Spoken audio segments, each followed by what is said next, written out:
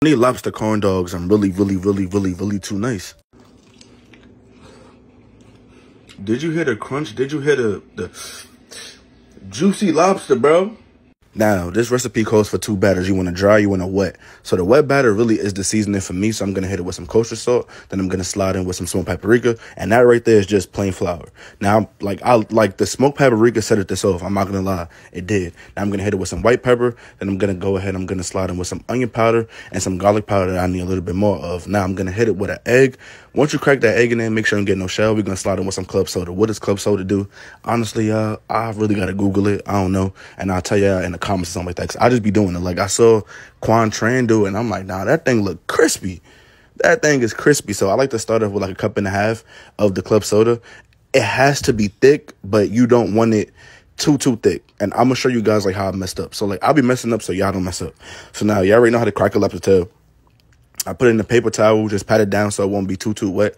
Now, I used one skewer for this, but these is like the big body lobster tails. And I'm like, trust me, don't get them too big because it'd be too tough when you fry it. Get like a little smaller ones. Like get ones that smaller than these.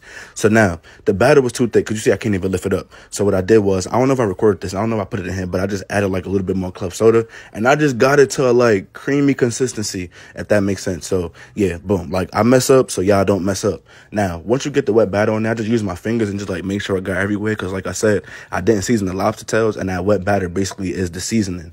Now when when it comes to the flour, the wet batter might make the shape a little bit weird. So what I do is when I put it in the uh, flour, I just like pat it down for like a long time. I know this clip is gonna go for a long time, but I'm just showing you like really pat it down and just form it back into like a corn dog kind of thing. Like like you understand? So I just make sure I get the flour all on there. And what you could do too is, is you could put that batter into a cup and dip the skewer inside and take it out.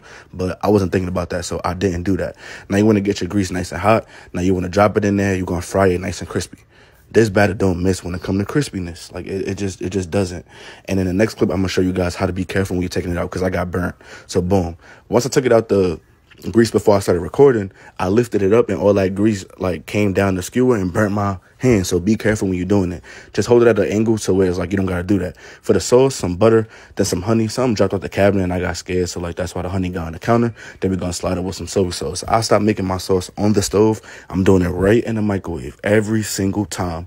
I don't care. Boom. Throw a lobster tail in there. Now we're gonna sauce it up. It like the oh my god, bro.